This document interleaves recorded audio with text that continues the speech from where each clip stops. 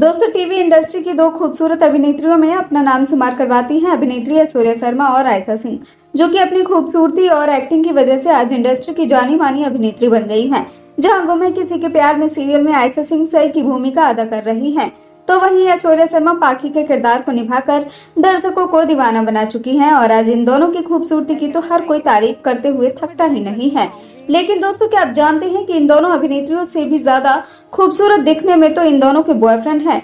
जहाँ पर सवाल ये उठता है कि इन दोनों अभिनेत्रियों में से किसका बॉयफ्रेंड है, ज़्यादा हैंडसम और गुड लुकिंग शायद ही जानते होंगे, नहीं जानते तो आज की हमारी इस वीडियो में हम आपको इन दोनों ही अभिनेत्रियों के बॉयफ्रेंड के हैंडसम लुक से कंपैरिजन करवाएँगे। पर उससे पहले आप हमारी वीडियो को लाइक करना ना भूले। तो सबसे पहले बात करते हैं।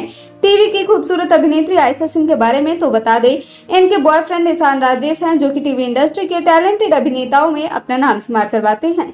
साथ ही इन्होंने अपने गुड लुकिंग और अपने हैंडसम लुक की वजह से हर एक लड़की को अपना दीवाना बनाया है, पर आज ईशान राजेश सिंह पूरी इंडस्ट्री पर राज भी कर रहे हैं। वही अब बात करते हैं ऐश्वर्या शर्मा के बॉयफ्रेंड की तो बता दे, ऐश्वर्या शर्मा ने अपने ही को स्टार नील भट्ट से शादी की है। बता दे, इनके हस्बैंड नील भट्ट दिखने में काफ़ी ज़्यादा हैंडसम और गुड लुकिंग नज़र आते हैं। भले ही इनका कलर हल्का फेयर है, पर अभिनेता Neil Bhatt jeans T shirt और कई तरह के स्टाइलिश ड्रेस को कैरी करके काफ़ी ज़्यादा गुड लुकिंग और हैंडसम नज़र आते हैं।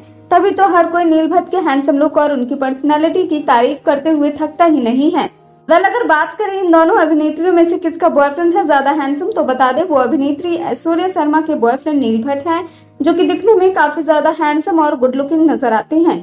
हालाँकि आयशा सिंह के बॉयफ्रेंड भी हैंडसम है, पर ऐश्वर्या शर्मा के बॉयफ्रेंड से कम। वेल दोस्तों, इन दोनों अभिनेत्रियों में से आपको किसका बॉयफ्रेंड ज़्यादा हैंडसम लगा? हमें कमेंट बॉक्स में कमेंट करके ज़रूर बताएँ, और इसी तरह की तमाम वीडियोस को देखने के लिए आप हमारे चैनल को सब्सक्राइब करना ना भूलें।